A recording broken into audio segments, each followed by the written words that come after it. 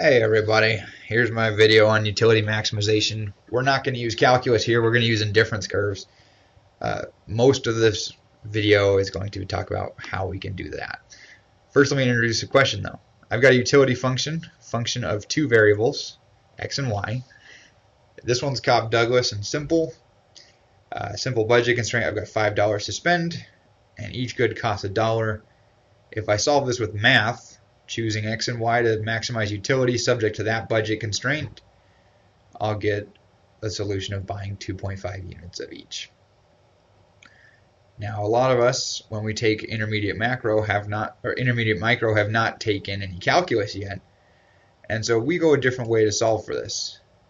How do we do it with indifference curves instead of with calculus? Well, if we want to do this with indifference curves, you're going to see pictures like this. Uh, two blue lines, both are called indifference curves. We call them indifference curves because they represent utility. Every point along a single curve has the exact same amount of utility. I am just as happy with a lot of x and a little bit of y as I am with some combination of a lot of y and a little bit of x as I am with some mixture of the two. Uh, Cobb-Douglas utility functions always give you these nice round shapes that never touch the intercepts. And then for utility maximization, we will find the point where those indifference curves, where one of them touches the budget constraint like here. Why is that? Well, if we were at this first blue line, uh, to spend all of our money, we could get this much utility. But if we bought a little more y and a little less x, we would shift along the budget constraint this way and move to higher levels of utility. Eventually, the highest level of utility we can get is there. So there's that in a nutshell.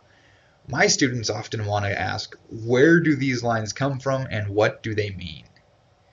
And so I'm going to build this uh, from an entire utility function because it turns out these are basically just sections of a graph. And so here's our utility function. This is the Cobb-Douglas one, the x to the 0.5, y to the 0.5. It gives us the properties of utility we want. More x is a good thing. Utility rises as x rises. And, oh yeah, by the way, the z-axis is utility. I couldn't make it say u up here. It says z.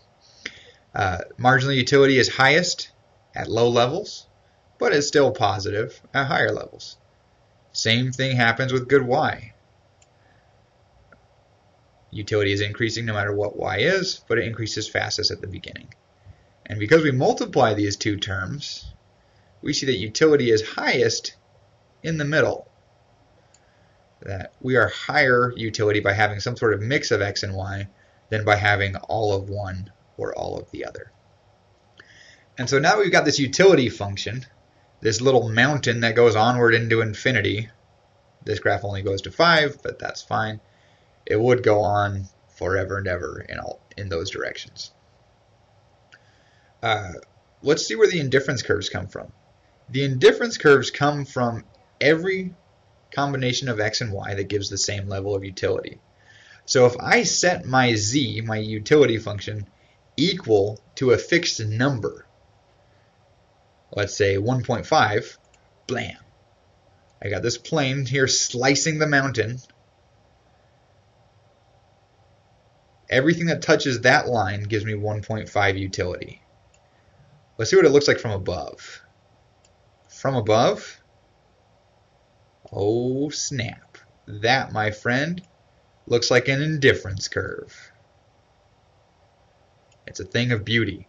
Now, every point along this line, whether it be all these y's and a little bit of x, or all these x's and a little bit of y's, or some combination of both, gives me 1.5 utility. Let's do the same thing, but for a utility level of 2. That looks like another indifference curve. Or 2.5. Blam! There's another one. It's very exciting stuff. I'm taking sections of this mountain and tracing my utility from each one. Different levels of utility on the same utility curve. And so those indifference curves are tracing the mountain itself. Uh, and that's where they come from. Now, if we want to look at this, let's throw a budget constraint on here. Uh, in this case, I said that each I have five dollars to spend and each thing costs a dollar. So there it is. I can either buy five units of good Y and none of X, or five of X and none of Y, or any combination of the two. So something like that. I have to act, I have to choose a pair somewhere along this line or within this point. And what I want to do is get as far up the mountain as I can within that. So to maximize utility without a constraint, I would just go forever to the northeast. I would go forever towards infinite x and infinite y. But within a budget constraint, all I can do is get as high up the mountain as I can.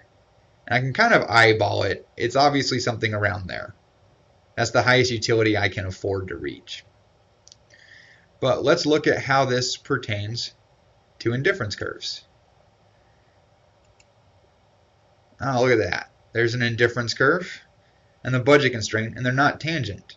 I'm not going to consume this point or this point because I could move towards a better mix of them and move farther up the mountain. Why be here when I can go farther up? Next indifference curve. Same idea.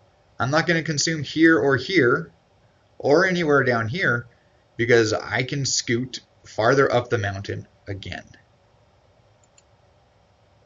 Whoa, where'd the mountain go? I'll tell you where. It's over there. A point of tangency. There is no possible way to go any farther up the mountain and still be touching this budget constraint than right here when they are tangent to each other. That's where your indifference curve analysis comes from in a nutshell. That's where the tangency point comes in. We're stuck on this mountain, limited by the budget constraint. The farthest up we can get is going to be right there where they touch. So I don't know if that helped you or not. It helped some of my students. Plus, it's kind of a cool graph. Uh, so I hope this video is useful to you. If not, well, too bad. Uh, thanks for watching, you guys, and good luck econing.